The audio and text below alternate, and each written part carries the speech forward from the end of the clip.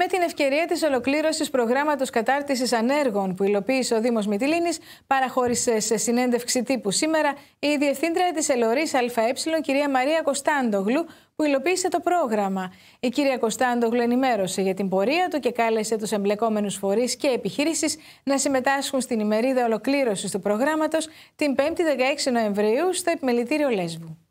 Καλησπέρα σε όλους. Ευχαριστώ πάρα πάρα πολύ που είσαστε εδώ για άλλη μία φορά για να σας ενημερώσουμε για το έργο που αφορά την κατάρτιση ανέργων και κοινωνικά ευπαθών ομάδων της πόλης της Μυτιλίνης το οποίο είχε ενταχθεί στα, στο πλαίσιο των, της βιώσιμης αστικής ανάπτυξης της Μυτιλίνης και χρηματοδοτήθηκε από το ΠΕΠ Βόρειο Αιγαίο. Θα θέλαμε λοιπόν να σας ενημερώσουμε ότι το έργο ουσιαστικά ολοκληρώθηκε ε, και την Πέμπτη έχουμε την ημερίδα ολοκλήρωσης του έργου στα πλαίσια του οποίου θα ενημερώσουμε ε, για, την πορεία, την, για την πορεία υλοποίησής τους, τους στόχους που επετεύθησαν. Θα γίνει απονομή επίσης των ε, πιστοποιητικών και των βεβαιώσεων των ωφελουμένων που έλαβαν μέρος στο έργο.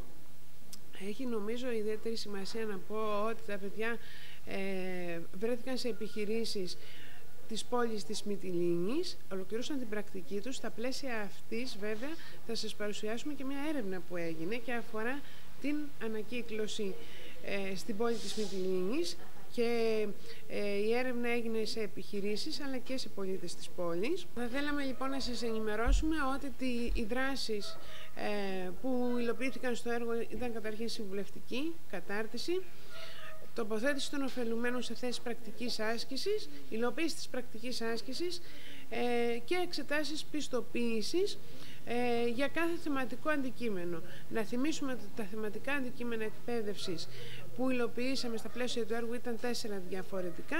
Το ένα αφορούσε τους ε, εργαζομένους στον χώρο της εστίασης, ήταν εκπαίδευση των μπαρίστα. Το δεύτερο αφορούσε ε, την γραφιστική, όπου οι άνθρωποι εκπαιδεύτηκαν στον τομέα της, ε, της γραφιστικής, στην ε, δημιουργία μακέτας, ε, για, για ηλεκτρονική έντυπη μορφή, αλλά και για 3D αναπαραστάσεις. το τρίτο αφορούσε την εκπαίδευση των ανθρώπων των ωφελουμένων στα θέματα της ανακύκλωσης και το τέταρτο θεματικό αντικείμενο αφορούσε την εκπαίδευση των ανθρώπων στην ενεργειακή ε, εξοικονόμηση των κτηρίων και αφορούσε ε, υδραυλικούς και ηλεκτρολόγους. λοιπόν, αυτή, λοιπόν, το σύνολο αυτών των δράσεων έχει ολοκληρωθεί και με μεγάλη μας χαρά θα υποδεχτούμε όλους τους ωφελούμενους καθώς επίσης και τους ιδενόντες αυτού του τόπου σε μια γιορτή στην πραγματικότητα στο επιμελητήριο Μυτιλίνης ε, η οποία θα κλείσει, θα ολοκληρώσει το έργο.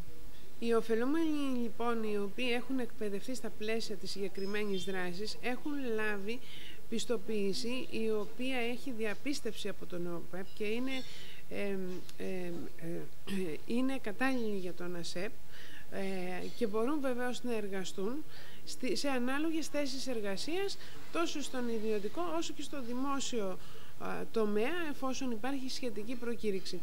Πρέπει να σας πω δε ότι ε, η Ελωρίς ΑΕ με απόφαση του κυρίου Περιφερειάρχη και των μελών του Διοικητικού Συμβουλίου προχώρησε σε διπλή πιστοποίηση των ε, ωφελουμένων του προγράμματος. Επειδή ε, στα πλαίσια του συγκεκριμένου προγράμματος της, της εκπαίδευσης του οδηγού σπουδών που είχαν είχαν αρκετές ώρες εκπαίδευσης στην πληροφορική θεωρήθηκε σωστό να δώσουν εκτός των εξετάσεων πιστοποίησης για κάθε θεματικό αντικείμενο, όπως για παράδειγμα η παρίστα, η ηλεκτρολόγη, η ψυκτική και ούτω καθεξής, και τις εξετάσεις πιστοποίησης της πληροφορικής.